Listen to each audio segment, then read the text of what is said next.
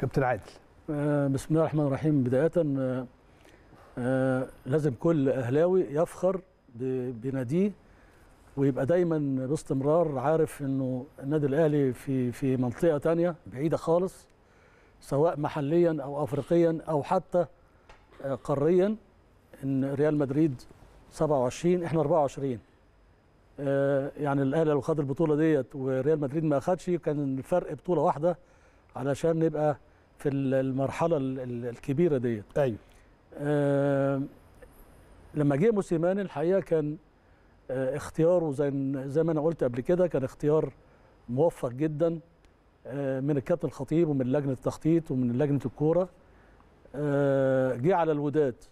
كسب الوداد رايح جاي وبعدين مقتنع جدا وعارف تاريخ النادي الأهلي كويس قوي.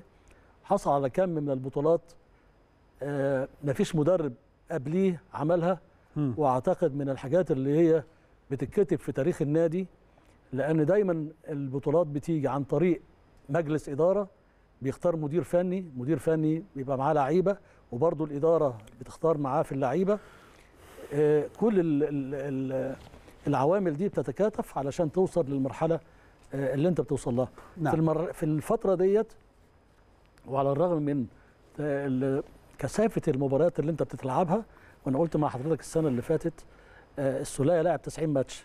في حد في الدنيا لاعب يلعب 90 ماتش في في في, في دوري. اللي قلنا السيتي لاعبين وهم بقى السيتي اللي بيلعبوا كل البطولات لاعبين واحد أكتر واحد لعب ما بين 61 ل 64 مباراة. إحنا كنا معديين حاجة و70 وفي ثلاث أربع لعيبة معديين ال 90 منهم السولية.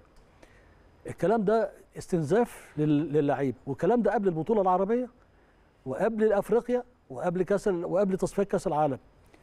فأنت مع كل ال- الضغط والكثافة ديت ومع كل ال- الأجواء اللي أنت بتلعب فيها من برد شديد إلى حر شديد إلى ملاعب سيئة إلى ما فيش فار إلى إلى الولاد ال- ال- ال- لبعض الناس. يعني ضاغطين عليهم جامد. الولاد دول عملوا إنجاز وإعجاز مع الإدارة ومع الجهاز الفني. نعم. آه مفيش شك إن ال- ال- ال- الفترة اللي فاتت من 2019 لحد النهارده النادي الأهلي في مؤامرة شديدة. مؤامرة شديدة بتدبر ليه والدليل على كده العناصر اللي هي بتوصل علشان تقود الكرة في مصر. اولا ما بتجيش بالانتخاب وبتيجي بطريقة مش مظبوطة.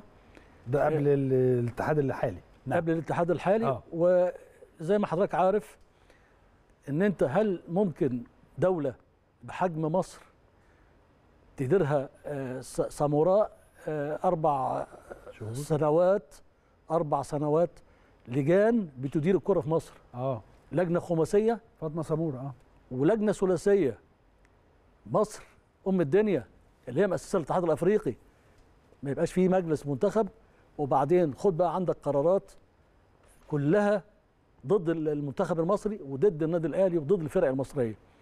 لجنة الحكام بنشوفها قد إيه بتبقى آه، متحاملة جدا على المنتخب وعلى الفرق المصرية وخاصة النادي الأهلي. لجنة الحكام الأفريقية. آه تمام. أمال إيه لجنة الحكام الأفريقية؟ واللي فيها ال ال ال الأخ المصري عصام عبد الفتاح. هو في اللجنة الأفريقية.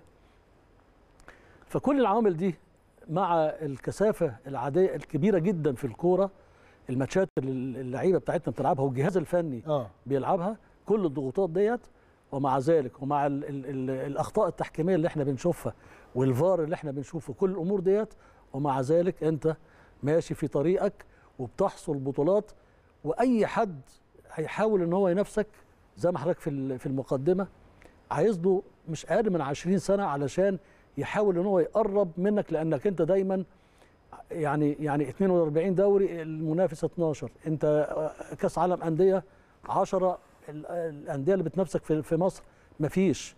أنت بتوصل. أنت بتوصل 15 مرة نهايات كأس عالم بتاخد 10 منهم.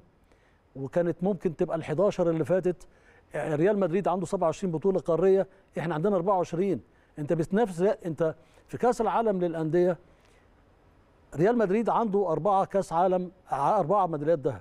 برشلونة عنده ثلاثة ذهب واحدة فضة. الأهلي عنده ثلاثة برونزية. يعني الأهلي نمرة ثلاثة. في عدد الماتشات أنت أكبر نادي عنده عدد ماتشات. أكبر نتيجة في في كأس العالم للأندية أنت كسبان ال- الاتحاد آه، كسبان الهلال أربعة. آه، عدد الماتشات أنت الأكثر. فأنت في في في في سنه وناس آه، يعني يعني ماشية كده يعني على الأرض بعيد كده. عنك تماما. آه. بعيد عنك فده ده فنيا.